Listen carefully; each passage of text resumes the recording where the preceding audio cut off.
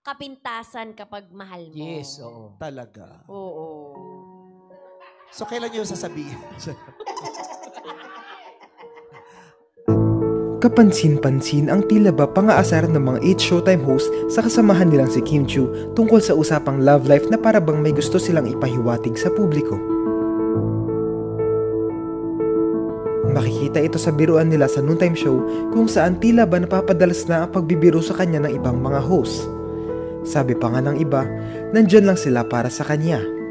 Tinatawa na lang ito ni Kim pero ayon sa iba, parang may laman ang pahiwatig na ito ng mga kasama. Panoorin ito. Nandito lang kami, Kim, ha? Boses na. Ito lang. Ano ba gusto mo sabihin? Ulitin mo. Alam mo, maiisip mo yan at saka masasabi mo sa iyong pag-iisa. Sige. Bigyan natin siya ng space. Kapintasan kapag mahal mo. Yes, oo. Talaga. Oo. So, kailan nyo sasabihin? Eto na. Pero bago natin pag-usapan, ay, Matatanda ang maraming netizens ang nagsasabing parang hiwalay na si Kim at ang longtime boyfriend nitong si Sian Lim dahil hindi na sila madalas nagkakasama. Bagamat naging usapan na ito, wala pa rin kumpirmasyon ang dalawa.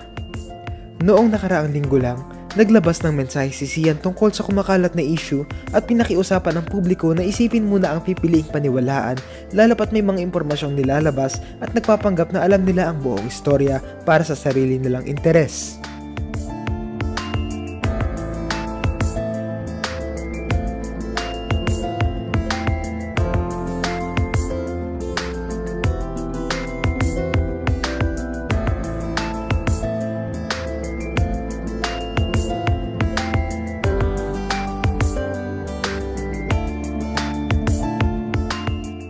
Sa kabila nito, hindi pa rin maitago ng mga netizens ang pag-aalala na talagang matutuldukan lang kung makikita ulit nila magkasama ang dalawa. Ano ang masasabi nyo rito?